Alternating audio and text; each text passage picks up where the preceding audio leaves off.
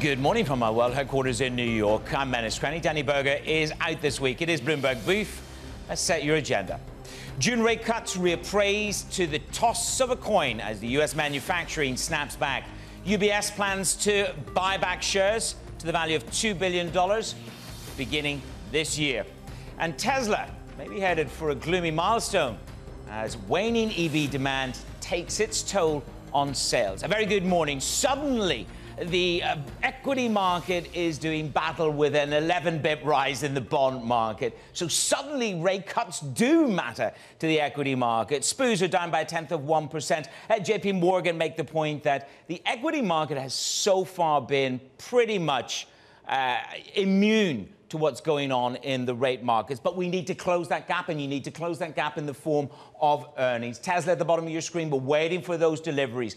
Byte, uh, BYD taking uh, literally chunks and bites out of the Tesla treasure trove of uh, demand in China. So stocks are that little bit lower. You're going to get a raft of Fed speak. By the way, in Europe, you can see the energy component. Oil is at a five month high. The likes of Total and Eni are both uh, bid up this morning. So the energy component is at a five month high. You're seeing a nice, a nice bid tone there. Roll it over, have a look at the bond market. As I say, there was a little bit of a, a Damascene moment for the bond market yesterday. Prices paid in the ISM data. That's in the belly of the data, is really uh, what irked this market. Good news for the economy is bad news for the rates market.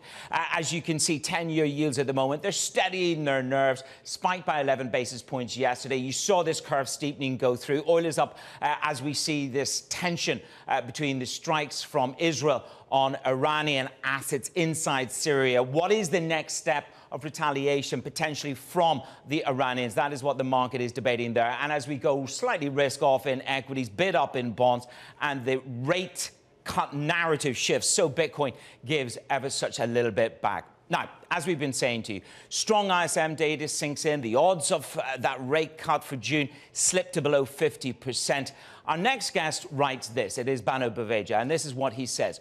We agree that inflation will continue to moderate over the coming year. We're much less certain about the growth outlook, given the recent rise in the short dated break evens. The market's concern seems to be the opposite. Bhanu joins us now. He is the chief strategist at UBS. So, Bhanu, good to have you with me. You talk about the market's left tail risk is an inflation resurgence, not a growth drop. But you, you have your doubts about growth dropping. You think a little bit more risk of a growth drop rather than the second coming of inflation. Why?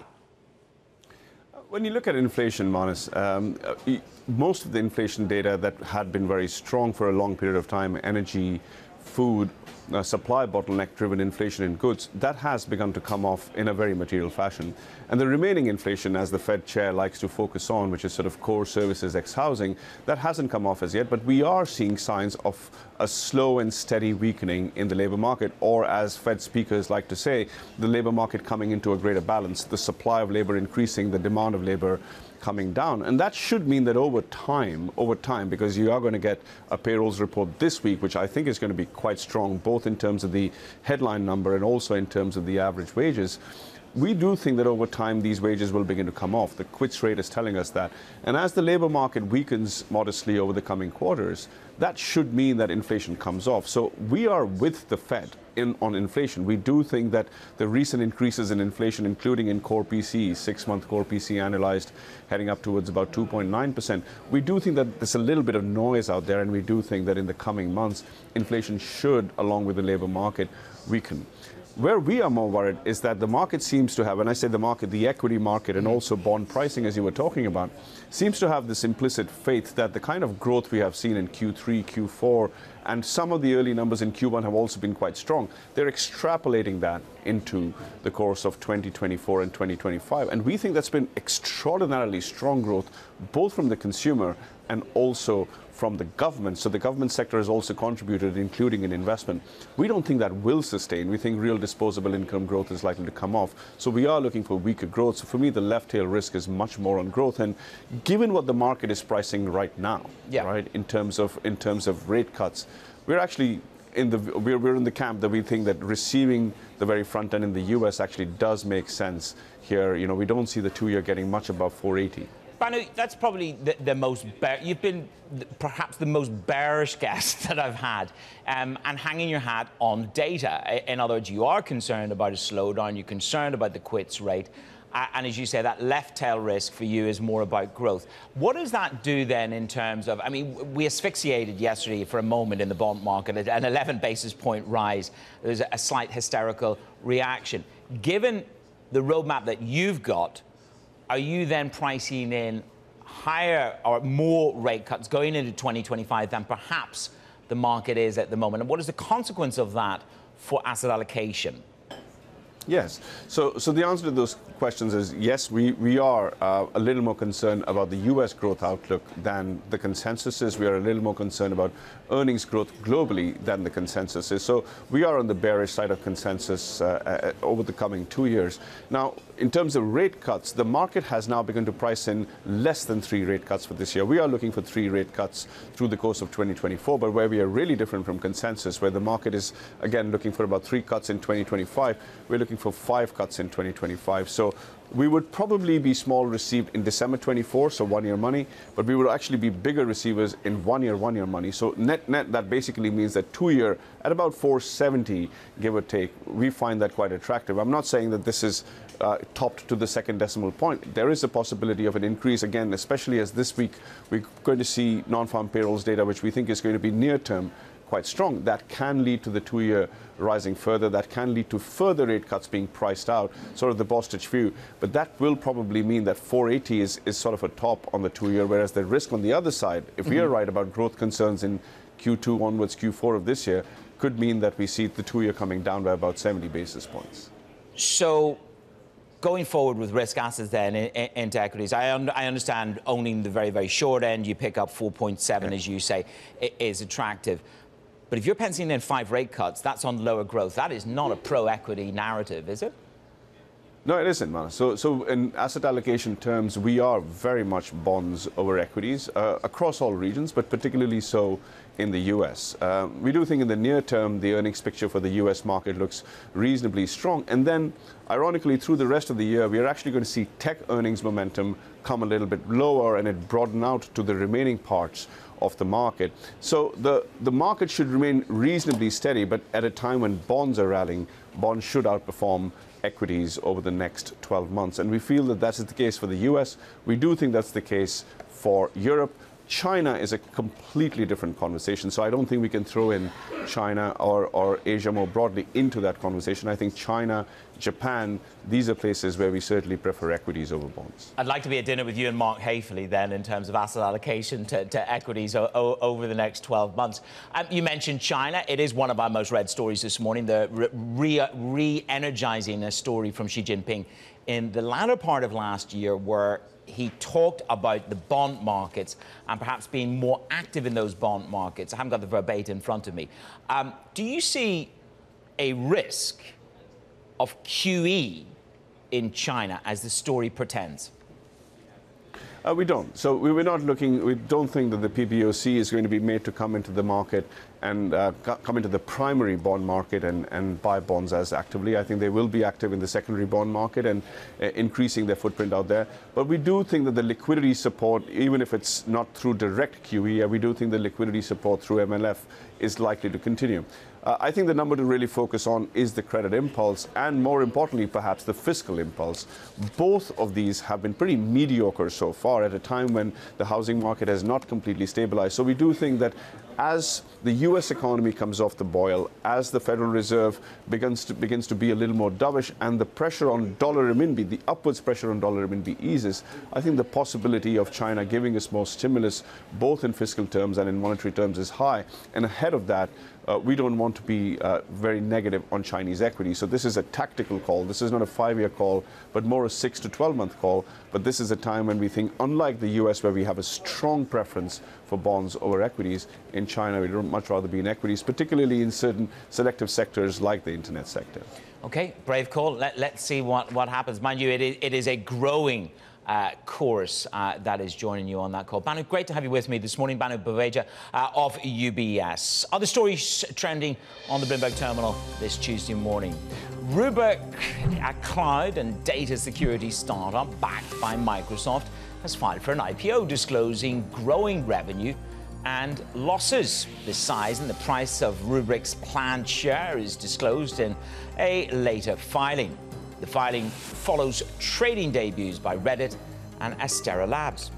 The Wall Street Journal reports that Disney is leading its proxy fight against the billionaire Nelson Peltz, with more than half the votes counted. BlackRock and T. Rowe Price are among the supporters.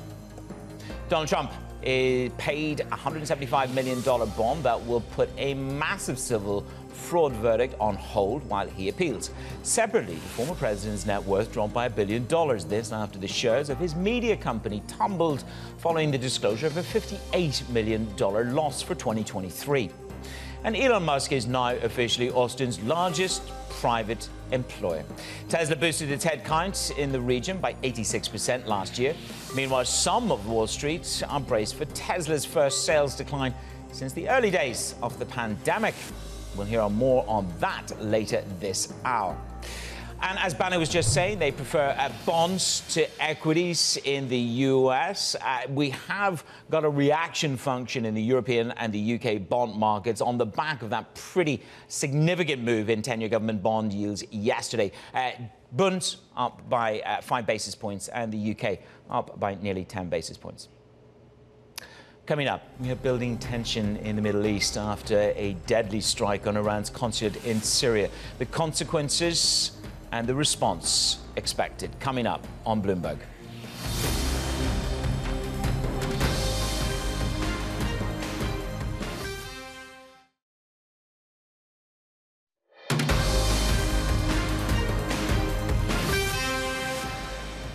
This is Bloomberg Brief. I'm Manus Cranny in New York. Now, Iran is summoning the U.S. in response to what they call Israel's crime of striking Iran's consulate in Syria.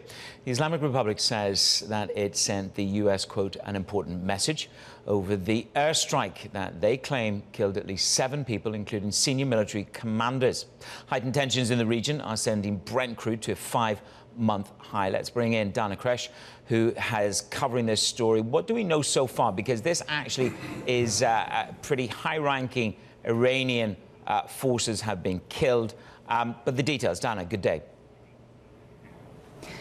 Hi. Um, Iran says that um, Israel is behind an airstrike on a compound linked to its embassy in Damascus, that's in the heart of the Syrian capital, killing at least seven Iranians, including a high ranking commander and his deputy. Images out of Syria show that the building is completely demolished as a result of this airstrike. We saw Syrian media also saying that Israel was behind uh, this attack. While Israel doesn't really and rarely comments on, uh, on such attacks, whether whether in Syria or elsewhere, that it is accused of conducting, Israel has repeatedly said that it would obstruct any weapons transfer to Iran linked militias uh, via Syria or anything that would actually um, be a threat to its existence. And we see Iran today vowing to retaliate and saying that this would not go unanswered. As to who this person is, among them is a high ranking commander who was in the Quds force in Lebanon and Syria. And that means he uh, perhaps is involved in foreign operations by by the, uh, the Iran Revolutionary Guard Corps. Mm-hmm. And um, we saw Hezbollah calling him a loyal friend and someone who's worked to improve the work of the quote unquote resistance group in Lebanon for years. So, Dana, with this in mind, we listen to the Iranian language quite quickly. They talk about a decisive response.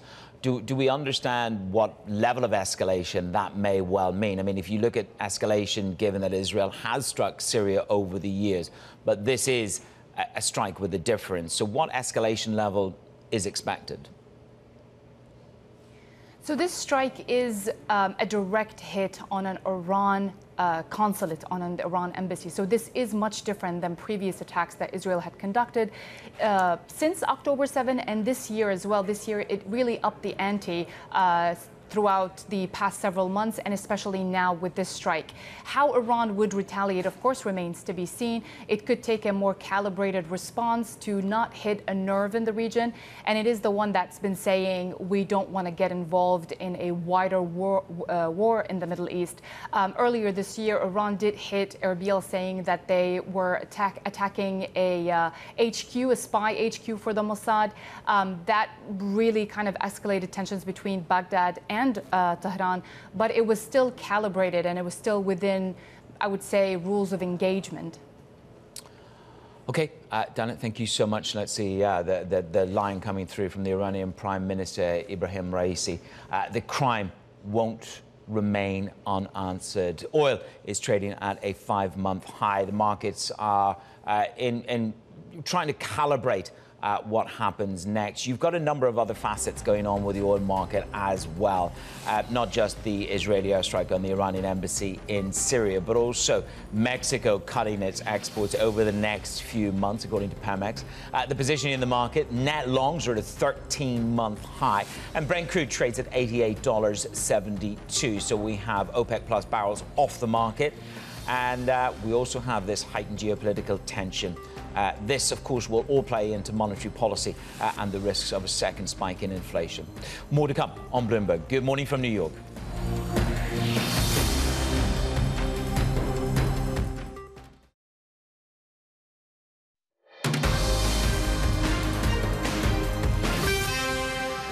It is Bloomberg Brief. I'm Manus Cranny in New York. The yen is paring back some of its weakness against the dollar, driven by strong U.S. data. Still, the risk that Japan's currency will see intervention, it's rising at these levels. Let's take a listen to what Mark Mobius, the co-founder, had to say. The Japanese are fighting a losing battle, and they might as well give up. Uh, there's no way that they're, going to do anything to strengthen the yen, and it'll probably continue to weaken at the end of the day, it's probably good news for some people because if you're shorting the yen, you're doing fine. But the other interesting thing about the yen and about Japan in general is that a lot of the Japanese investment money is finding its way into Southeast Asia and to emerging markets generally.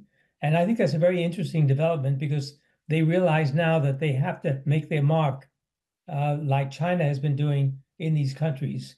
And so uh, the yen will be distributed widely in these emerging market countries. Mark Mobius, we talk about how the yen, the weak yen, is supporting uh, the stocks. We're looking at a 50% upside in the last uh, 12 months for uh, Japanese stocks. I mean, how much more upside can be expected? I mean, the likes of Larry Fink says as long as the yen remains at about 150, we can expect uh, Japanese stocks to continue to go upwards.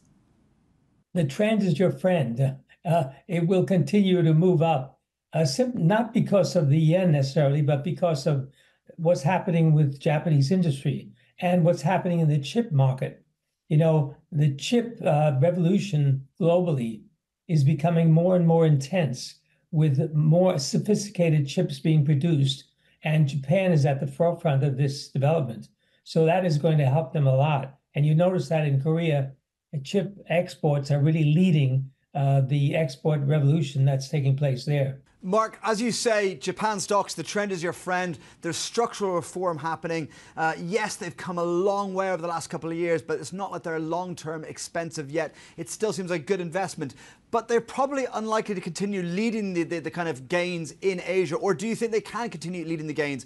If you think it's somewhere else in Asia that can start kind of taking the forefront of gains, where is your pick of the other Asian equity markets?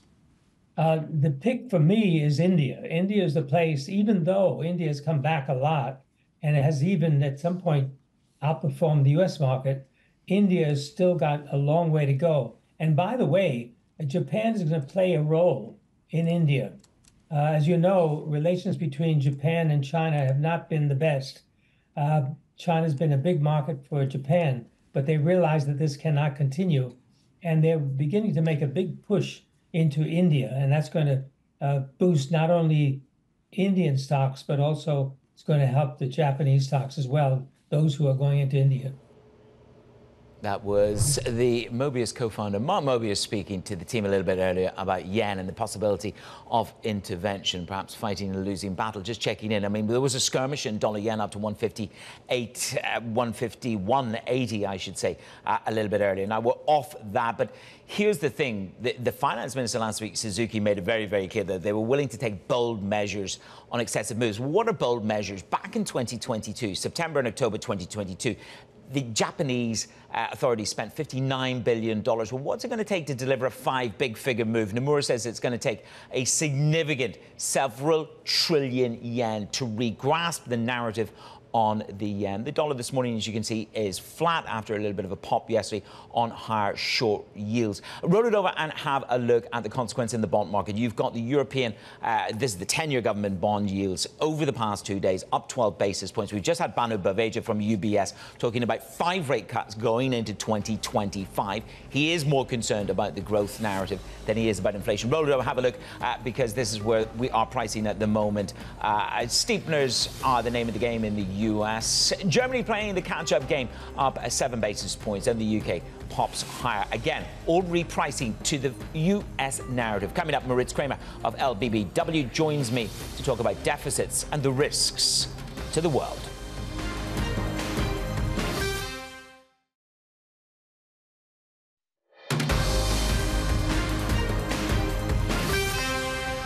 Welcome back to Bloomberg Brief. I'm Manus Cranny in New York. Dani Burger is out for a well-deserved week break. Here's what you need to know. June rate cuts reappraised to the toss of a coin as the US manufacturing snaps back. UBS plans to buy back shares worth as much as $2 billion beginning this year.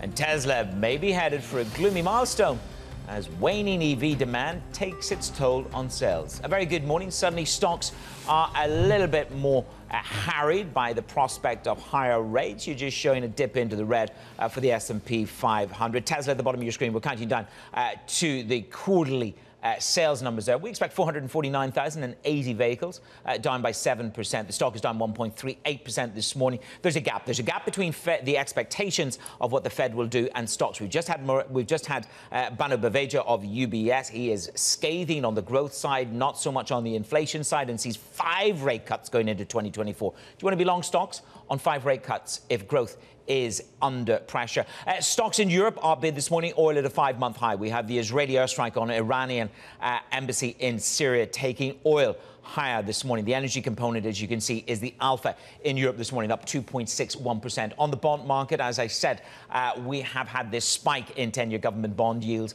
uh, and that is just leveling out this morning at 432. But you did pop by over 10 basis points yesterday. The odds of a June rate cut have been shredded to less than 50%. There is a complacency in bond markets, according to JP Morgan. And uh, you've got crude, as I say, up 1.8% on the heightened tensions in the Middle East. And Bitcoin gives a little bit back as we reappraise risk. So you're down uh, on Bitcoin at the moment, you're down 5.1%. That's down 10% from its peak in March. So talking about debt uh, and deficits, the Citadel founder Ken Griffin is warning investors about the growing national debt. He wrote this in a letter. It is irresponsible for the US government to incur a deficit of 6.4% when unemployment is hovering around 3.75%. We must stop borrowing at the expense of future generations. My guest this morning is Moritz Kraemer, Chief Economist at LBBW. Moritz, good to have you with me. You really do paint a pretty bleak, torrid situation, not just for the US, but globally uh, in terms of the debt situation. This is what you're saying. The fiscal situation in the US is even more unhinged. The debt ratio has doubled since the GFC to over 120% of GDP. Trend is rising as fiscal policy is irresponsible. More tax cuts may be on the way if Trump wins. I mean, are we going to hell in a debt handbag again? What is the risk to the world? Good morning. Good morning to New York, uh, Manus. Uh, yes, I think the risks are rising. I could just underwrite what we just heard, uh, the quote. It's, it is really um, not only in the US, it's also in the Eurozone. It's basically everywhere, even in emerging markets. Despite this long period of ultra low interest rates, public debt has risen to levels that we would have thought impossible only 10, 15 years ago. And this was during the good times. Now it's going to be many more headwinds uh, hitting us rising interest rates, of course, but also aging societies, which will cost a lot in terms of pensions, healthcare, long term care, but also probably more defense spending. And at the same time, the number of people in the workforce will probably decline for the reasons of, uh, of, of the demographic change and the aging. So this is really not sustainable, and something's going to happen. Otherwise, we're going to hit another crisis um, and in the Eurozone probably earlier than in the US because the US still benefits from the uh, reserve currency privilege. Um, but even so, it's like a rubber band, and even the strongest rubber band, if you pull it too too hard and too tight, it's going to snap at some point. How quickly does this metas- uh, you know, metastasize, Moritz? Because it's, it's a very clear thesis. It, it's based on the, on the rigidity of numbers, of debt to GDP, and extrapolating that forward. We saw the European debt crisis unfold for a, a very different set of reasons in the late 2000s, but 2007, 2008, yes. in, into the early uh, 2011, 2012. How quickly will bond markets grasp what you're saying? Well, the bond markets are currently in a pretty carefree environment. If you look at sort of in Europe, we look at the benchmark uh, spread usually between the Italian bond and the, uh, the German 10 year bond. Um, and this so called BTP spread was know, like twice as high two years ago as it is now. So clearly there's not much concern currently. But if you look at recent releases from budgets, um, and we already heard the huge deficit in the US in a situation of full employment. But also in Europe, we had a very negative surprise in France, where the deficit last year came out 5.5% of GDP, much higher than expected. In Italy, a, whopping 7.2%. And now this interest rate additional cost will kick in. So if you assume that the yield curve moves up by 200 basis points compared to the low interest rate environment, and that's not unrealistic, it, this would add, when, once everything is rolled over, in France to 2% of GDP extra spending just on interest. In Italy, it's 3% extra spending just on interest.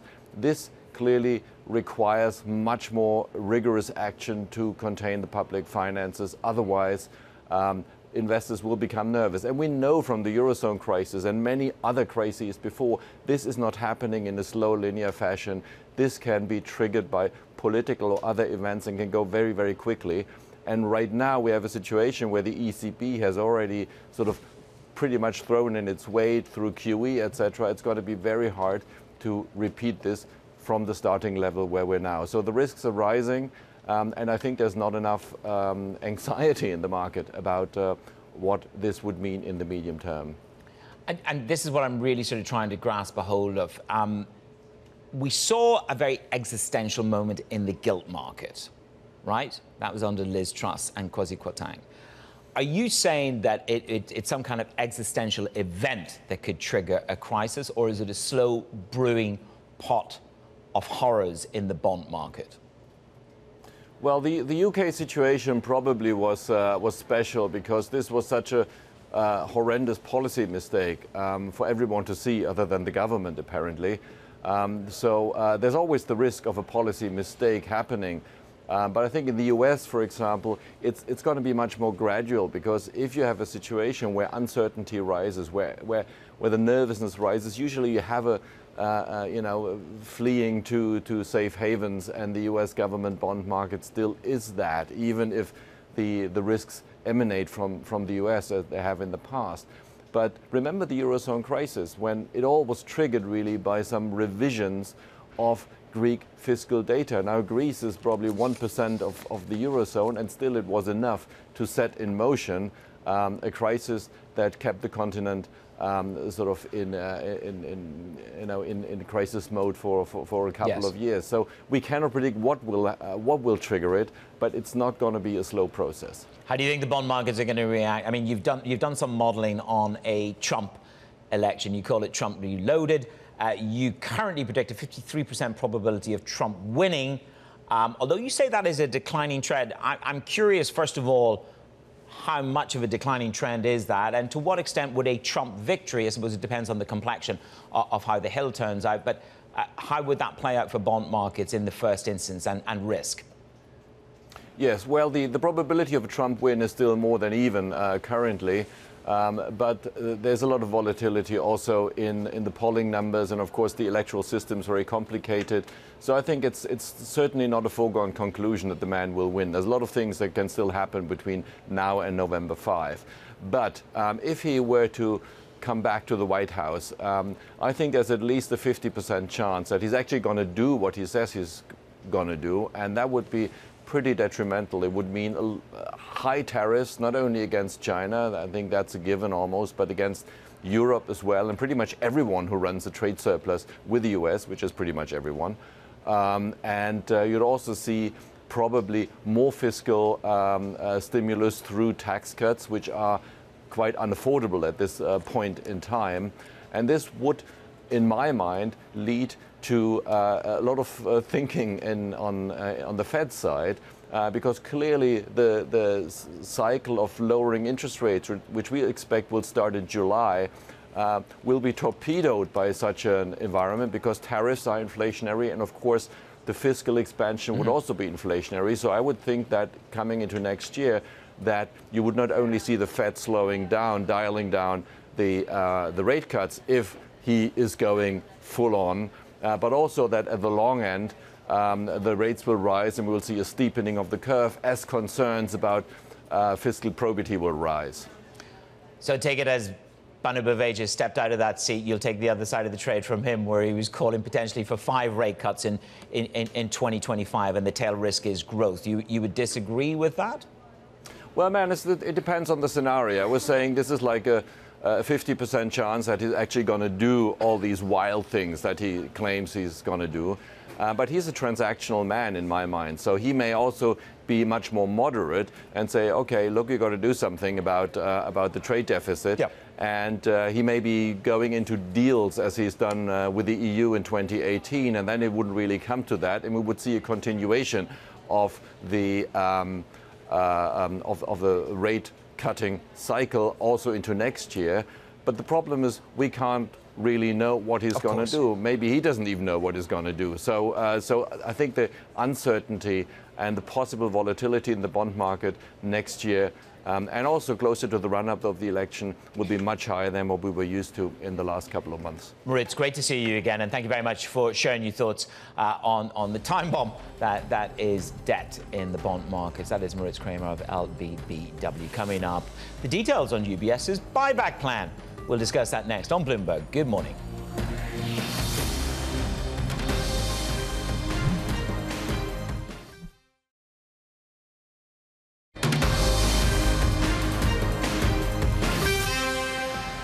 It is Bloomberg Brief. I'm Manus Cranny in New York. So UBS are pledging a $2 billion buyback plan. That's for this year, and it targets completion of its takeover of Credit Suisse in the second quarter. Joining me now is Charlie Wells. Charlie, good to see you. The messaging from the buyback. Why is the stock down on good news on a buyback? Hard question. Yeah, hard question, but also hard year, right? I mean, 2024 management of UBS has been broadcasting is going to be a very difficult year compared to last year as they try to complete this integration. You know, the heavy lifting, the chairman said, is about to come. They've got to dissolve the Credit Suisse legal entity into UBS, and they've also got the difficult task of trying to integrate the old IT systems from Credit Suisse into UBS. Investors have also been grumbling a little bit about some of the profit- profitability targets for UBS, and so this is a way that they can try to, you know, at least keep some focus on the positivity coming out of that integration. And of course, it, it is just over a year from that fated weekend when the forced marriage happened, and that was the, the, the delay on buybacks and the dividend. And that's the whole one of the key reasons why you want to be long that stock, but huge capital appreciation on the stock since the merger. Let's talk about Citi, because again, more job cuts coming through at Citi's. What does it say about Jane Fraser? I mean, she she was quite bullish in terms of the time frame of the restructuring, but does this add to that narrative? Look, earlier this year, Jane Fraser said that she was going to move quickly, but she was going to move thoughtfully on this restructuring.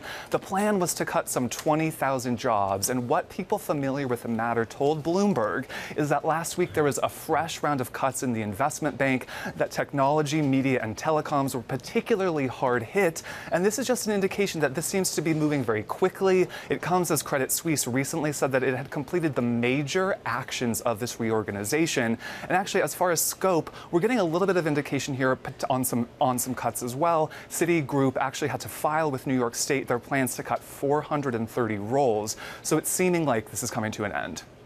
Okay, and then over at McKinsey, if you're not up, you're out. What's going on? That's their famous motto. I mean, look, um, according to the Times of London, um, put, they put out a report that they were offering nine months of salary and some career coaching to some management as long as they promised to leave the firm. Now, this comes after last year, McKinsey uh, embarked upon a plan to lay off 1,400 people. Those are rare layoffs, but what we do know is that the consulting industry has been under a lot of pressure as the companies that they advise cut back, and there's been a lot of questions about uh, consulting firms in general. So this is, is definitely a part of the difficulty that the industry and McKinsey are facing right now. Wonderful uh, remarketing of being fired. Strategically encouraged to reconsider the direction of one's career. Charlie, thank you very much. Charlie Wells uh, on UBS and Citi, uh, the moves there. Shares in Tesla, they're falling pre-market trading. Uh, some analysts are bracing themselves for the company's first sales decline since the early days of the pandemic. This could be a, a fill or kill moment for the stock. Craig Trudell is with me. Craig, a lot of pessimism, and it's, it's permeating this morning pre market. So, what do we think we're going to get?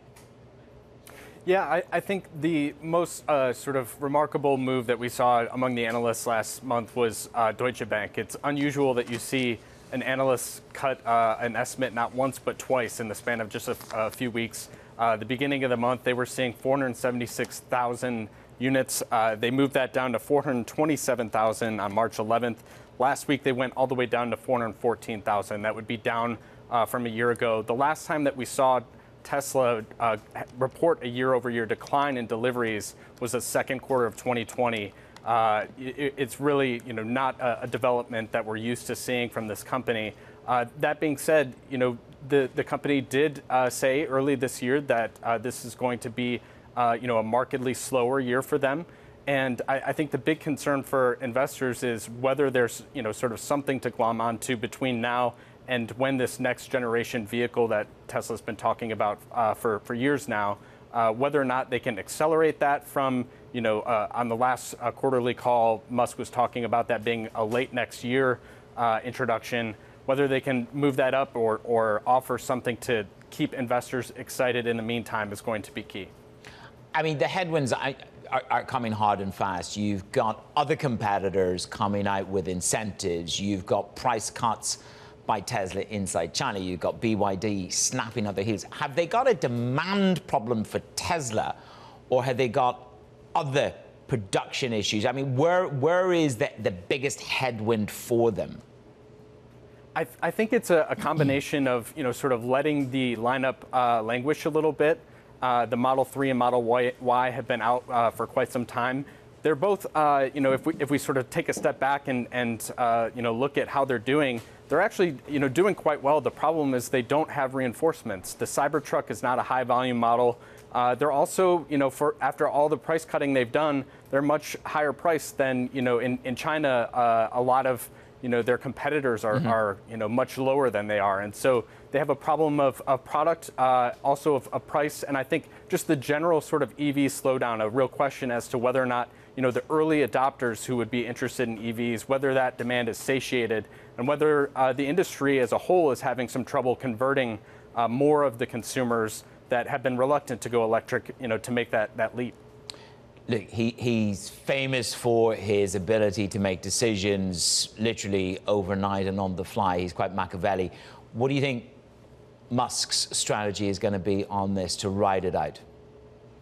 Well, I think it was interesting that last week, you know, Bloomberg uh, scooped this idea that he was going to, uh, you know, enforce this requirement that in North America, if you wanted to buy a new Tesla, you had to take a spin uh, to, to be shown uh, full self-driving, which uh, is misleadingly named. It is not self-driving, but it is a driver assistance system that Tesla feels really good about uh, and is something that Musk wants to, to really promote and get people excited about. It's also a way for them to potentially boost uh, pricing because this is a, a, feature that they still charge $12,000 for, or you can subscribe to it for $1,200 a month. And so this is uh, a, a, product that perhaps is a way that they can use to kind of boost margins as uh, sales uh, growth slows and potentially even slips in the first quarter. Yeah, the old subscription, the subscription models are, are the best models. Now, you mentioned the Cybertruck obviously isn't going to be the winning volume play for them, but then I look at Xiaomi uh, Xiaomi, they have their first ever EV, the SU7. How much of a threat is that to the Cybertruck? I think the the uh, you know reports overnight of, of just how many orders there were for that you know right off the bat really speaks to the level of interest, and we saw uh, also just uh, you know this is part of a pattern of we saw Huawei uh, late last year start to bring EVs to market, and so you know it's it's really kind of ironic that you know there was all this anticipation of you know the Apple car that has you know fallen by the wayside, but we've seen not one but two major Chinese smart, smartphone companies uh, enter the EV market. And it's really no surprise to see that in the sense that you know this has become a, a strategic industry for China and for Xi Jinping, where he wants China to really sort of dominate the global market. Uh, for for the moment, we're just going to see those companies play in China. Uh, but there's absolutely am- ambitions, you know, more broadly for, for China to become more of a player on the global automotive stage. Craig, thank you so much. That's Craig Trudell. Well, we're counting down uh, to those quarterly delivery numbers. Uh, the stock is under pressure at the moment. Snapshot of risk. This is what we've got for you. Moritz Kraemer joining me, warning of a debt crisis, uh, potentially more so in Europe than the rest of the world. S&P 500 down by tenth of 1%. Bonds level out at 433 after a pretty uh, virulent spike yesterday by 11 basis points on the back of the higher prices paid in strong ISM data. And the dollar is flat at 1248. Coming up, we take a look at the market moving events throughout the day. A lot of Fed speak on the ticker. Good morning from New York.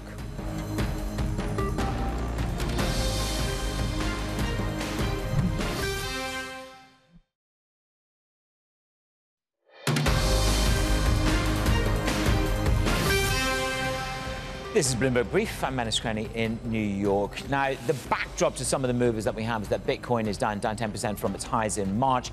You're also uh, just seeing a little bit of an outflow from some of those ETFs.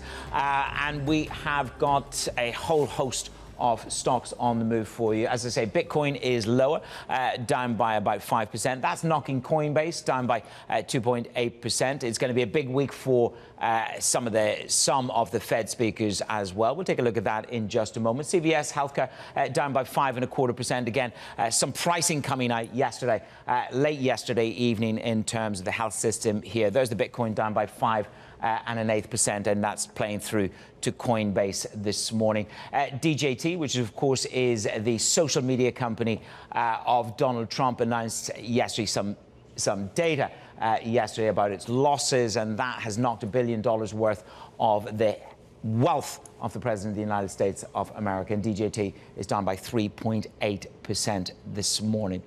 In terms of what we're watching, a slew of economic data. It will hit the tape. U.S. factory orders, uh, light vehicle sales, and JOLTS. A big day for Fed speak. Williams, Mester, uh, Daly, and Bowman all delivering their remarks throughout the day. And the U.S. presidential primary takes place in Connecticut, Delaware, New York, Rhode Island, and Wisconsin. That's it for Bloomberg Brief. Surveillance is up next. A very good morning from New York.